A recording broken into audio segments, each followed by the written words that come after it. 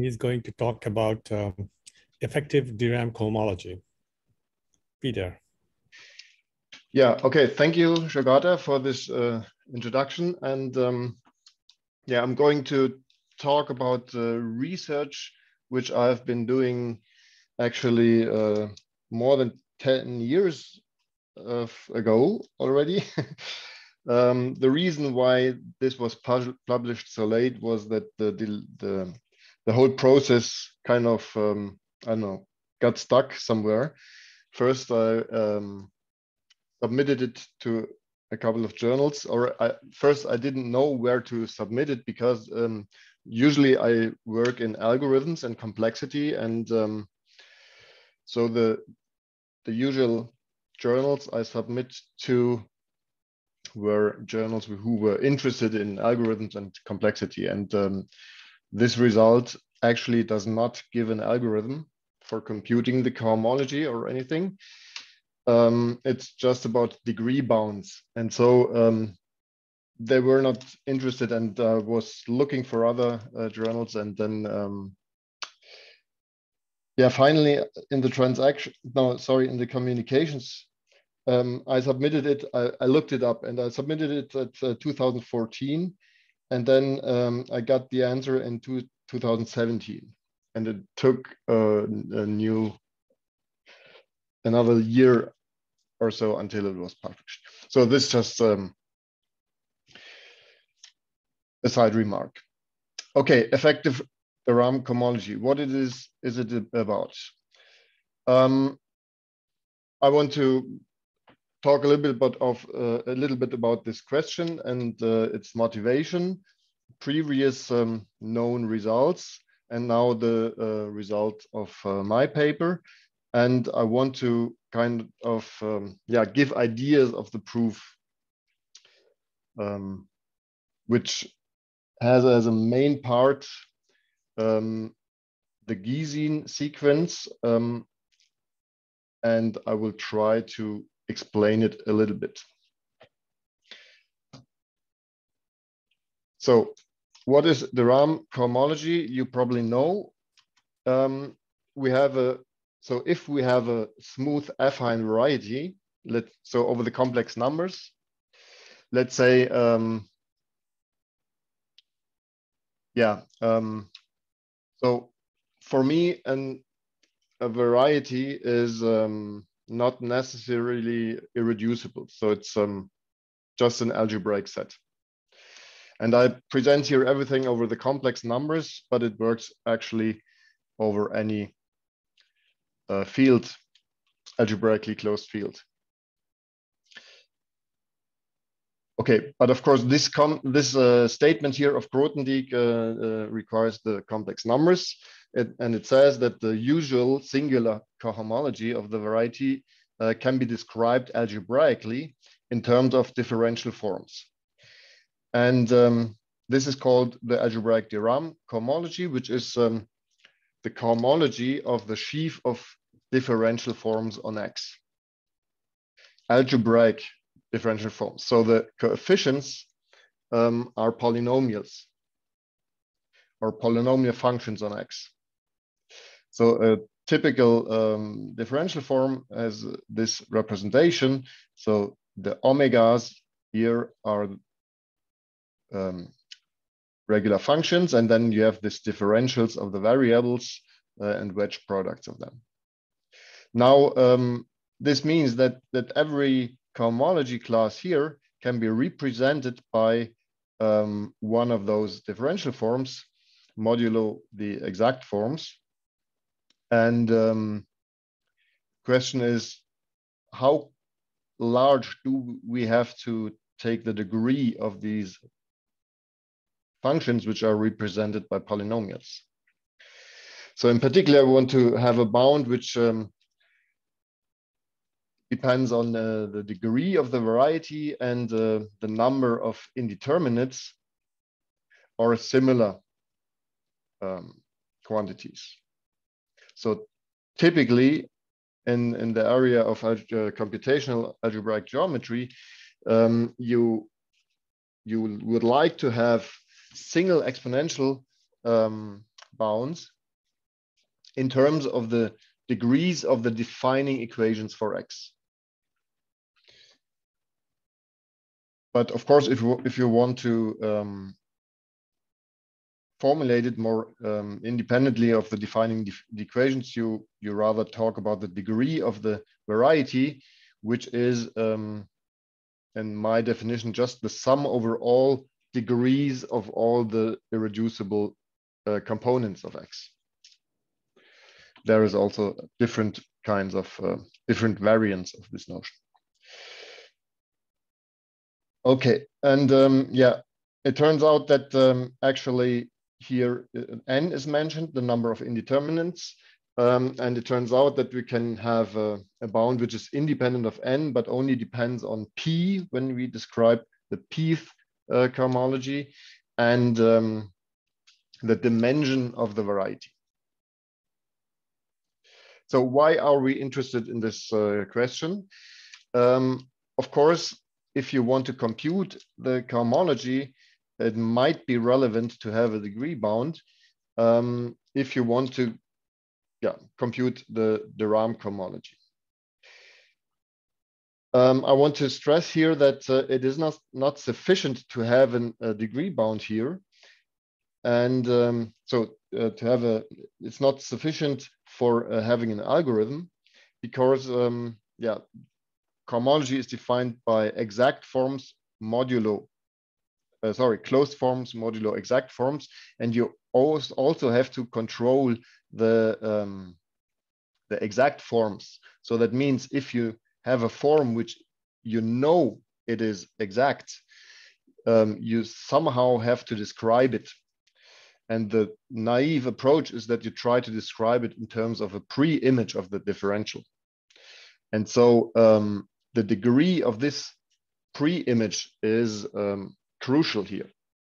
And it really turns out that this question is really the hard part and it's uh, it's really unsolved uh, as of now.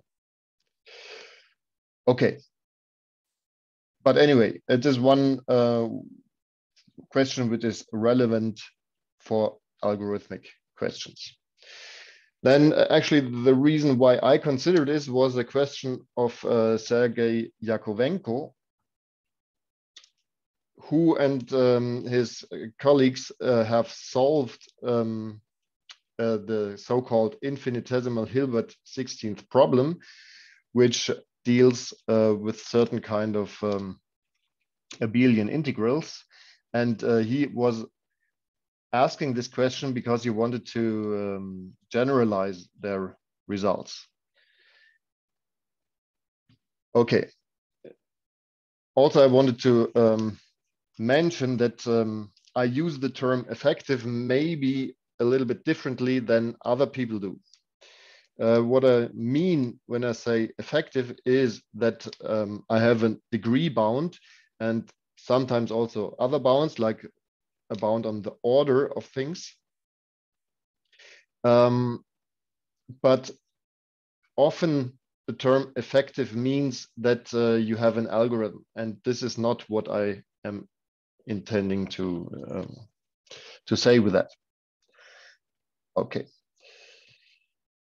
So what are known cases or what were known cases before this work? Um, so the problem actually is that uh, if you have an affine variety which is smooth, um, then the projective closure of it um, might have singularities.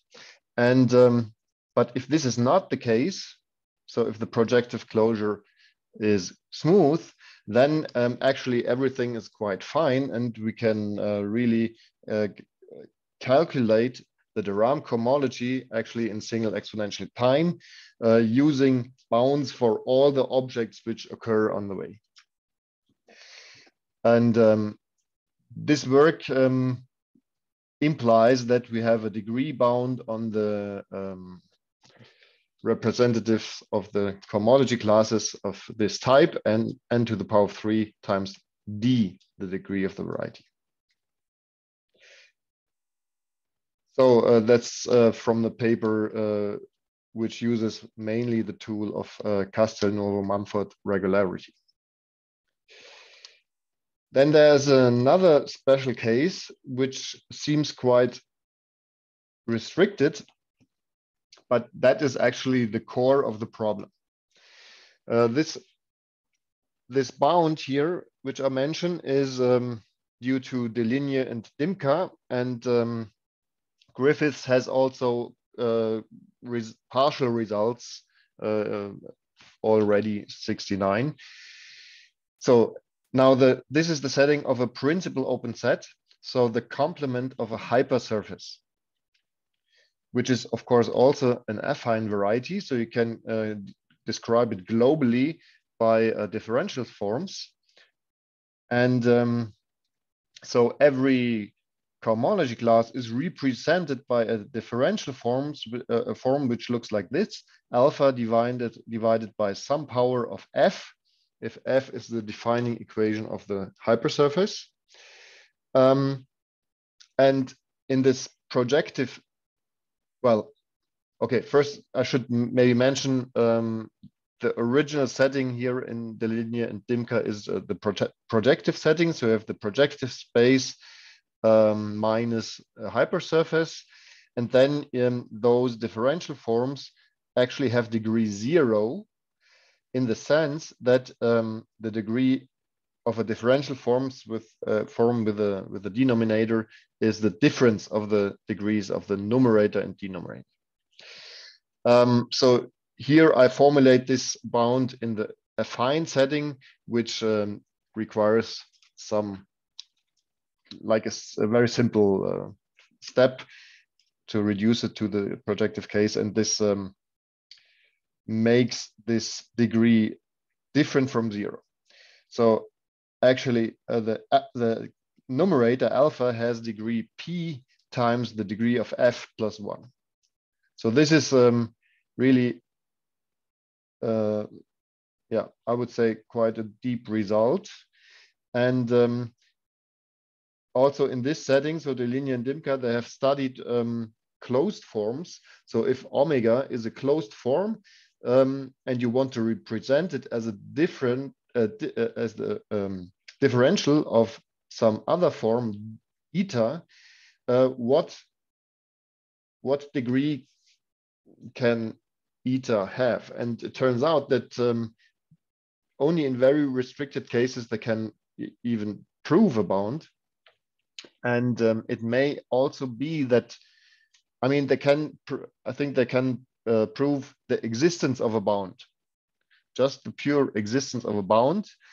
Uh, but it is not clear if it only depends on these parameters we usually use, which is the degree of f and the number of variables and so on.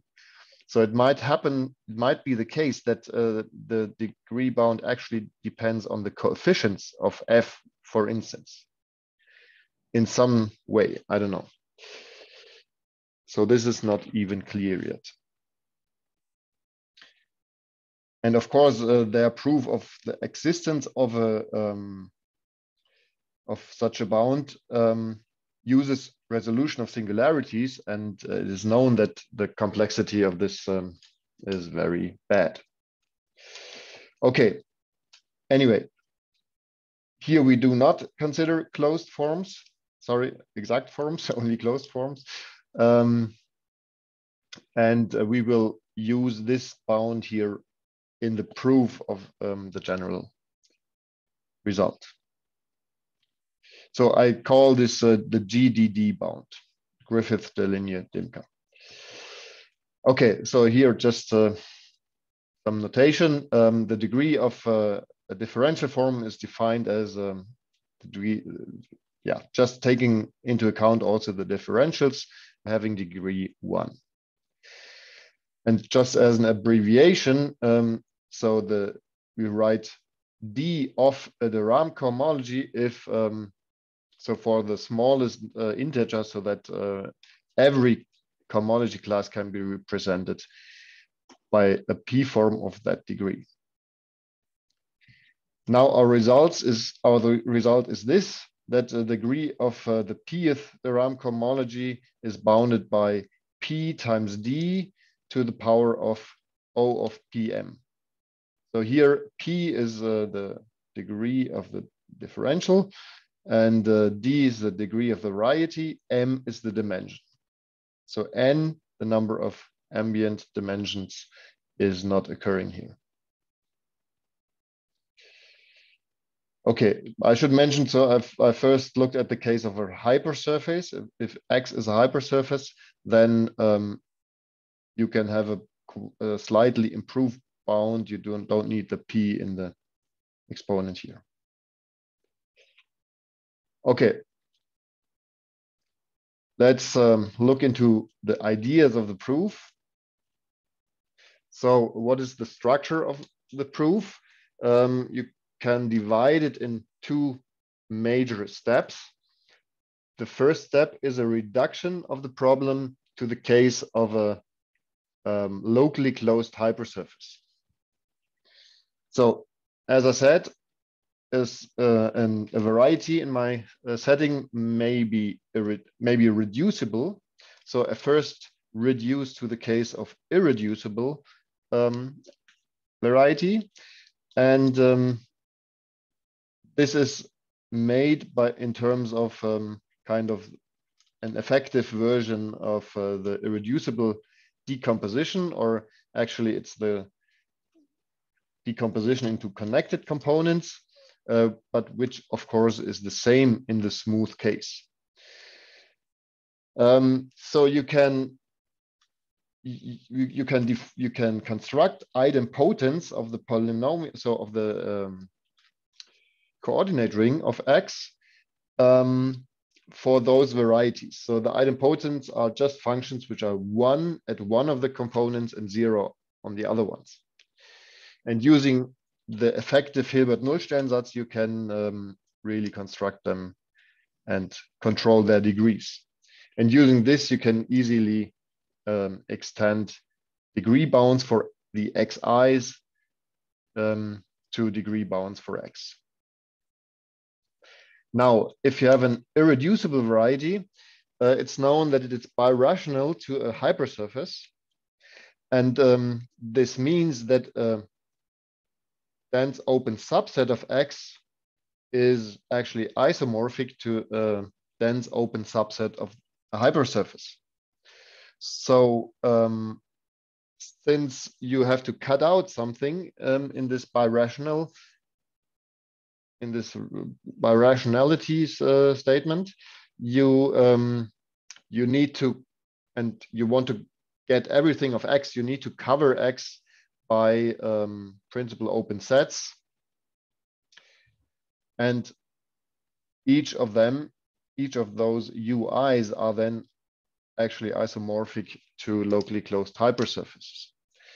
Um, this is done basically by the construction of a geometric resolution, which is kind of a standard um, construction in computational algebraic geometry. Um, you have an irreducible variety of dimension m, and then you take a generic subspace of one dimension higher, and you project onto the sub, um, subspace. And um, if it's in general position, then you get a hypersurface as an image. And this is then uh, the hypersurface defined by Fi. And um, to get a yeah an isomorphism, you have to cut out um, a certain subvariety, which is defined actually by a partial derivative of, of this Fi. So this should be Fi here. So that's the geometric resolution and you can so this is uh, this is well known and uh, there's uh, degree bounds for those um, constructions for the polynomials and stuff. So this is um, not the problem. But then um, when you want to um, carry over degree bounds for those uis for those um, patches if you want to uh, use those bounds to get bounds for X, then of course you need to do more. And um, actually, what you do is you use hypercohomology. for that, you need to know that the de Rham cohomology in general is defined as a hypercohomology. Only in the affine case, you can describe um, can describe it by global sections of the, de Rham complex. Um, and if you do this patching here, then you actually have to work with hypercohomology. And um, since we want to do everything effective, that means we want to really uh, carry over degree bounds. Uh, we have to um, really explicitly construct all the things which you have to do um, in the proofs. So the basic work, much of this work was um, to go through all those uh, standard proofs of the uh, sequences and stuff like that, and Čech cohomology, and to to uh, trace the degrees of the uh, constructed objects. So this has uh, been done. It's not actually very hard, but it's uh, cumbersome. I mean, it's quite complex. You have to go through a lot of proofs and so on. Um, but this can be done, and then um, you can reduce actually to the case of the UIs, which is actually described by some locally closed hypersurface of the type VI. So how you how do you treat those? So uh, let's look at it. You have the zero set of a polynomial f uh, minus the zero set of g, and um, we need it in a little bit more general setting. So uh, the pa some partial derivative of f um, divides g. This is just because of the, the patching, you need to uh, multiply some of the g's we had there together, and then um, we have a setting like this.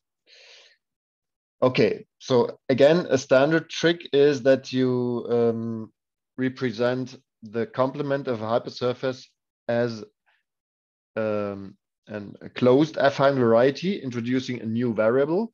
So uh, the complement of z of g can be um, represented by this polynomial, g times x0 minus 1, with an additional variable x0. And then if you intersect that with uh, the zero set of f in this higher dimensional affine space, then you get Z, and this is um, this is um, isomorphic. So you are in the case of a um, complete intersection of codimension two. But actually not any or an arbitrary uh, complete intersection, but of this special type. This is um, this is really important for proofs. Proof. I don't know if um, I would be able to prove a corresponding result uh, for general F0 and general F1. Okay, the main tool to handle now this complete intersection is the Gysin sequence. The Gysin sequence, I will talk about this a little bit later uh, more, um, but it, it uh, implies that in our setting, uh, we have an isomorphism between two um, de Rham cohomologies of Z and of its complement. So here you have a shift of three. And uh, we will see later why. And um, so also um, the major part of the proof now is to make this uh, isomorphism effective, meaning that uh, you can carry over degree bounds for the corresponding differential forms. But you have to be careful. Um, the complement of Z is not affine. So you, the, de Rham cohomology on the left-hand side here is not described by global sections, but it is indeed a hypercohomology.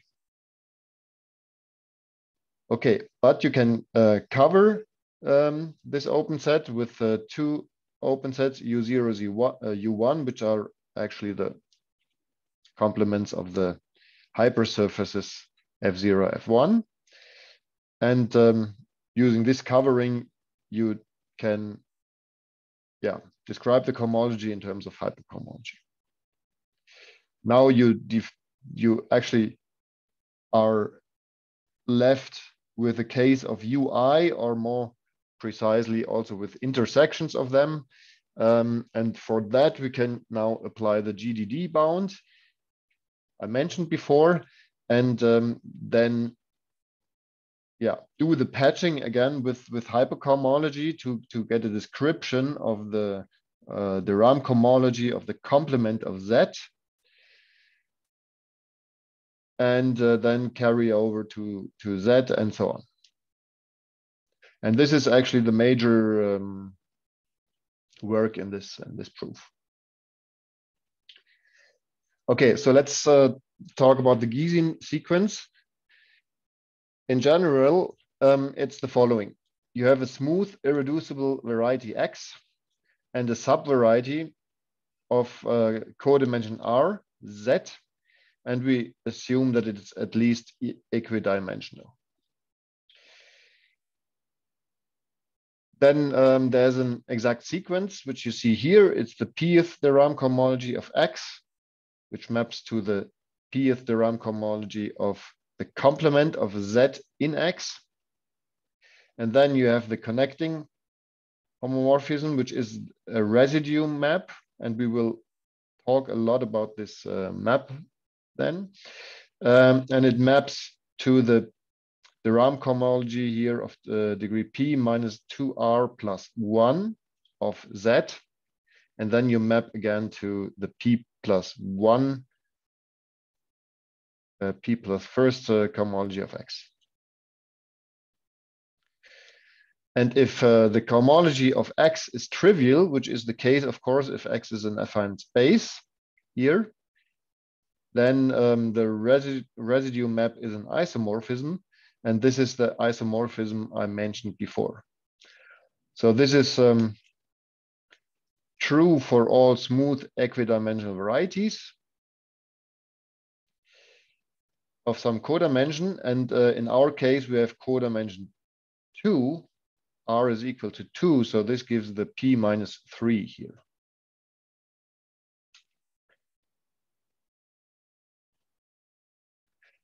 Okay, I, um, let me give you a very trivial example. The case n equal to one, one variable polynomial, just to um, give you an idea what the residue map is or yeah, how it looks like and where, where it comes from. Um, because it's well known in this case. If you have a univariate polynomial f over complex numbers, you can factorize it in linear factors. So the zero set is just a bunch of points, of course.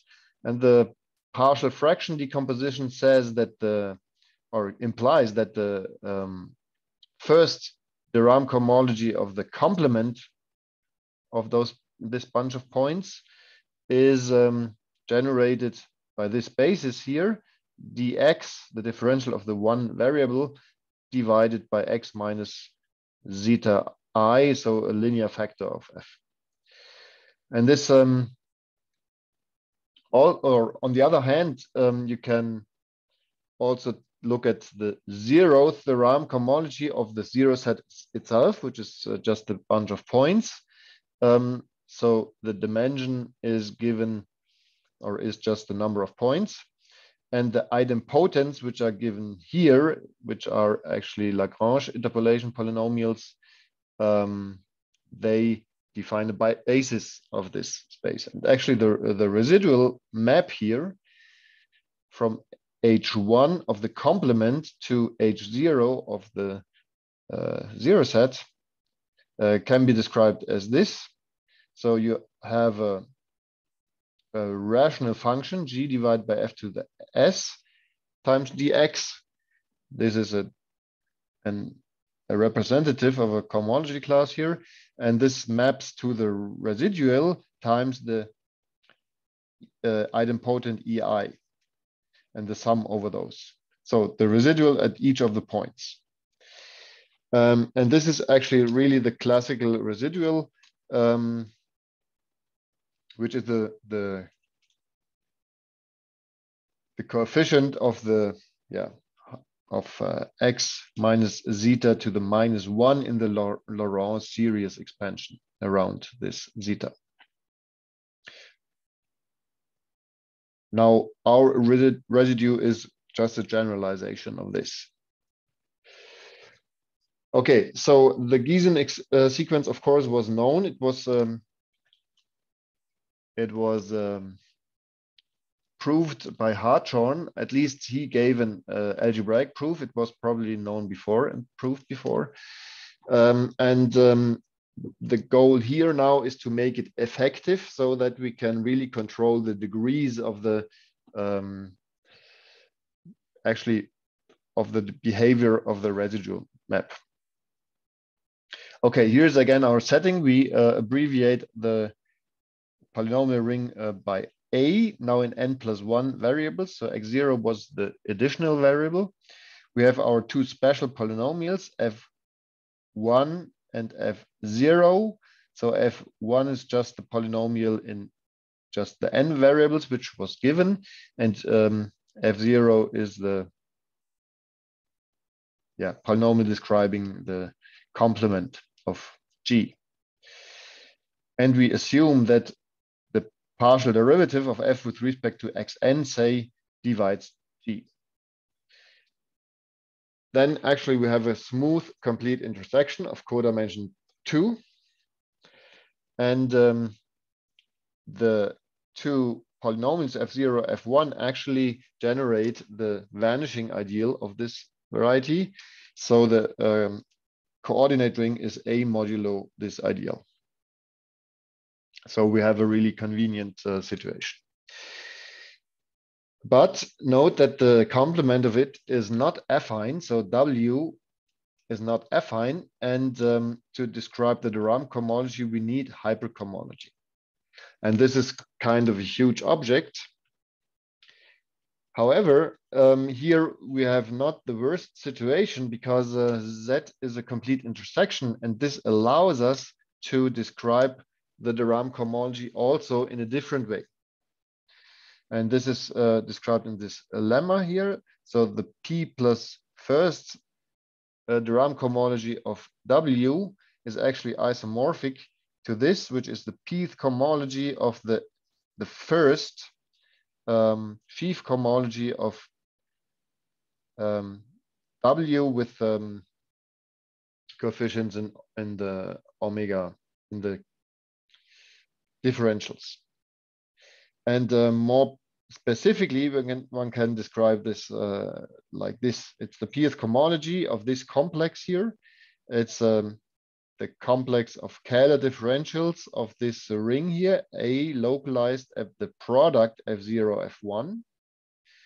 And you divide out um, the, the sum of the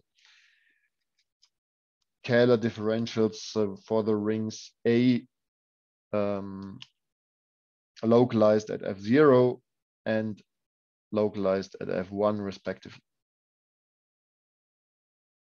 So this uh, isomorphism holds for all non-negative P. So note that for the zeroth, the de Rham cohomology here of W is not described this way, but um, this doesn't matter because the zeroth, um, de Rham cohomology of the complement of a variety is anyway uh, trivial. I mean, it's uh, one dimensional, so we don't have to deal with it actually.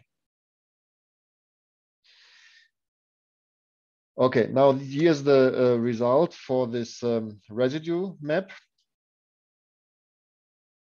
We use now this description I just mentioned.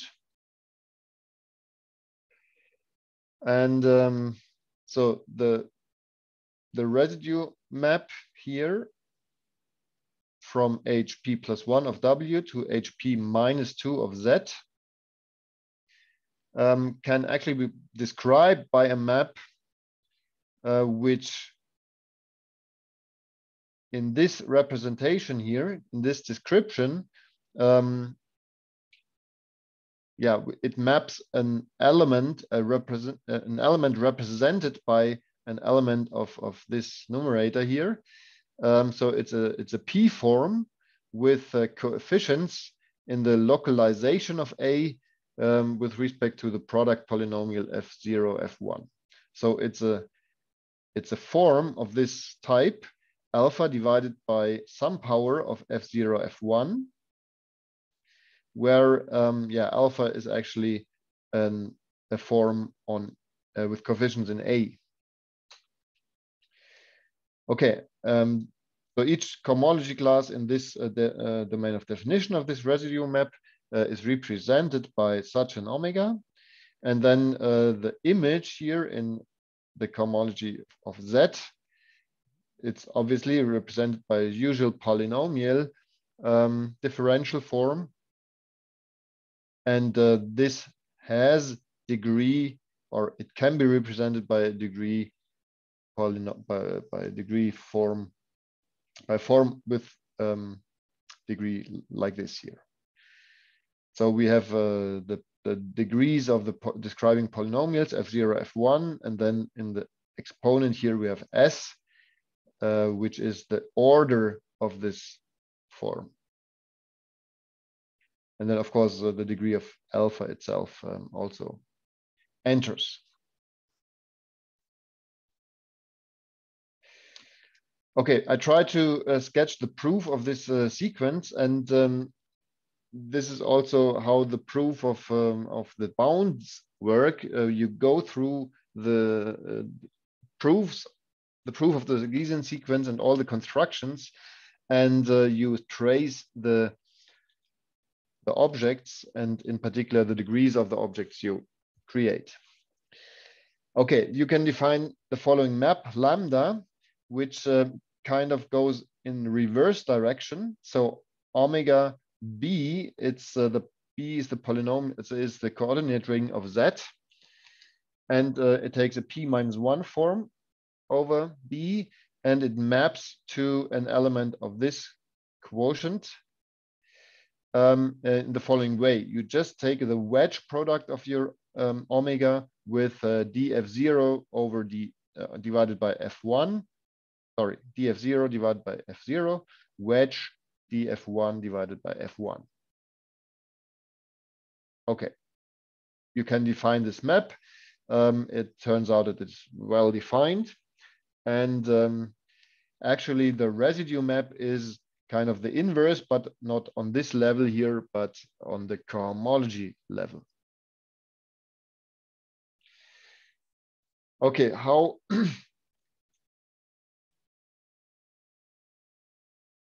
how can we now um, really construct the residue map? For that, we need the completion of, a, of an algebra. The completion of, an of the algebra A with respect to the ideal I is in general defined as the inverse limit of this uh, factor algebras A modulo I to the power of nu uh, but of course, this is a very abstract notion and you can um, describe it more explicitly um, in terms of power series here. So A, you take the formal power series of A with two indeterminates, T0, T1, and you mod out this ideal T0 minus F0, T1 minus F1. So in a way, you plug in F0 for T0 and um, F1 for T1. And what you get is power series in F0, F1. But the problem is that those power series are not unique. So if, in particular, for instance, if you take just F0, which is of course an element of A, so you can um, represent it here just as a constant power series so which is the first representation, f0 in, as an element of A, and then all other terms are zero. Or you can say, okay, it's actually represented by T0 and all other terms are zero. So if you write it in terms of F0, it's, it's like this.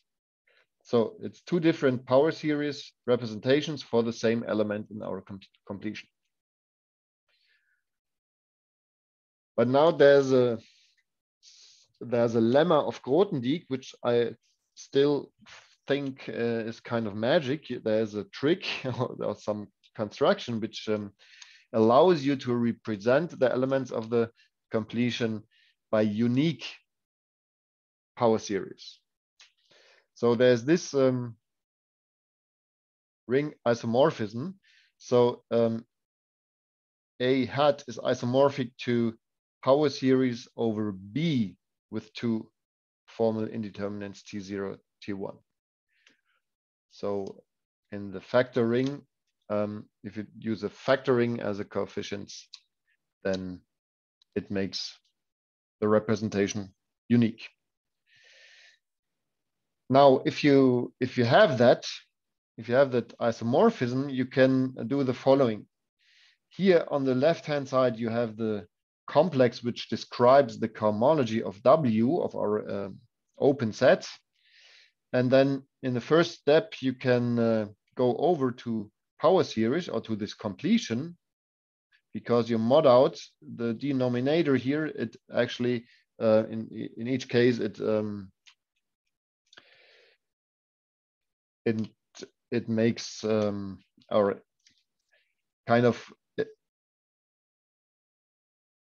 yeah, how, how should I say, from a certain index on the power series are actually then contained in the denominator and um, they need not uh, to be considered. So this is isomorphism, isomorphic, and then you use the isomorphism psi hat here, and then you represent it uh, just here in terms of those power series. Of course, you have to localize then at T0, T1 here, for instance, or at T0 or at T1.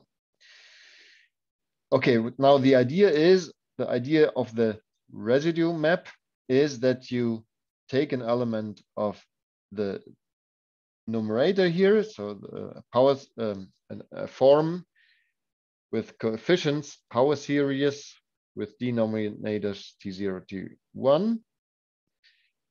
You expand it in the usual form, it's a power series, and then you take the coefficient of this term, T, uh, d T0 divided by T0 hat d T1 divided by T1. Remember the, um, the map lambda, which we have described before, were more or less the wedge product with this, uh, where you identify T0 with F0 and T1 with F. Okay, the now the what I call effective Grothendieck magic. Um, it's the lemma of of uh, Grothendieck, which allows to construct this isomorphism psi hat and this, that is um, actually a stepwise process where you start with um, the algebra B, and then you lift it um, to factor algebras um, where you have powers of this ideal modded out. So this is the basic construction of one of the steps. If you have um, a homomorphism of B into A mod I to the power of N, then you can lift it to a homomorphism into A to the power A divided by I to the power of N plus one, uh, so that this diagram commutes. Okay, here, this is really the plain uh, lemma of Grothendieck. I have not now um, stated any degree bounds, you really have to go into the proof, proof of it um, or into a constructive proof with to, to get degree bounds. But that's how you apply it. Uh, you start with the identity. So B is our factor ring um, and it maps identically to A mod I. And then you lift it to psi one, uh, psi two here, A mod i squared, and so on. And taking all these psi's together, they define a homomorphism into the completion of A. Now, the, if you go through the proof of uh, this lifting to the, if you really construct um, these things, then you can um, get a degree bound for psi uh, which is um, denoted like this.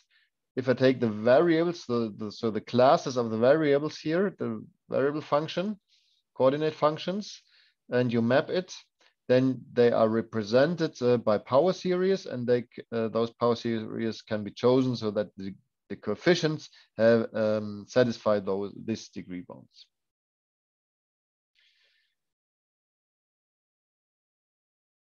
Okay.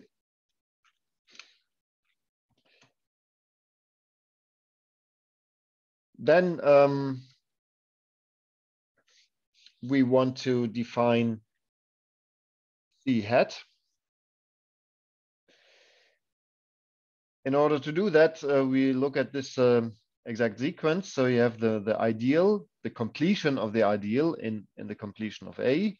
Um, it um, embeds into A hat and then it projects to B. So B as well is A hat mod I hat. So this means, and this um, splits by this homomorphism, which we have just uh, described. So that means A hat is actually a direct sum of B and I hat um, with using here this, um, this, this homomorphism psi. And this means that each A in the completion can be uniquely written as, as psi of B, some B, with uh, plus some element in the ideal. And now we can use the psi to really um, define this um, homomorphism where we um, take a formal power series over B and map the B's, the coefficients, uh, into a hat using this um, psi and um, forming the power corresponding power series in the completion. And this is then the, the isomorphism psi hat.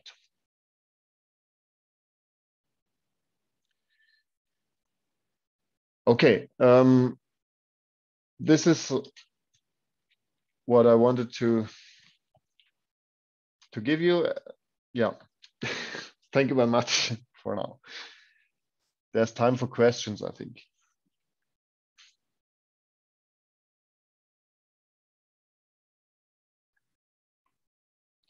Uh, thank you, Peter. Any question? So we have a couple of minutes for questions, discussion. Uh, yeah, maybe I can ask. So are there any applications of this degree bound for the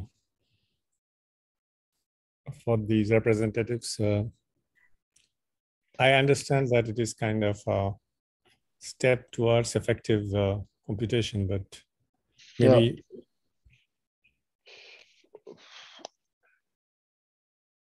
Well, actually, uh, the simple or the short answer is I don't know. Um, so far, if there are this Yakovenko stuff. Uh... Yeah, actually, also I don't know if he has done something with it in the meantime. I mean, um, he just told me that um, probably already quite uh, more restricted um, settings would be sufficient for for his purposes. Um, but um, actually, maybe I don't know. I've I've uh, not heard of any progress in in his work, so I don't know.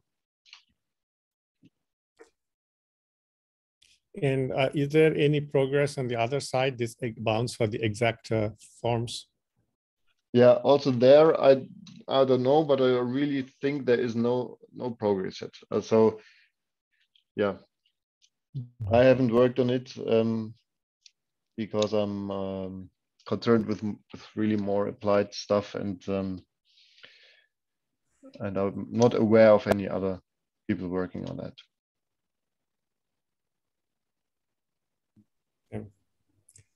So are there any other questions?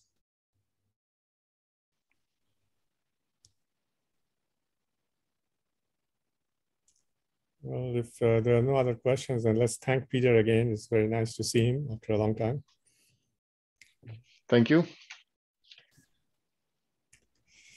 And thank you all for uh, attending the, our session. So that was actually the last uh, presentation of this seminar and hopefully we see you uh, sometime in future.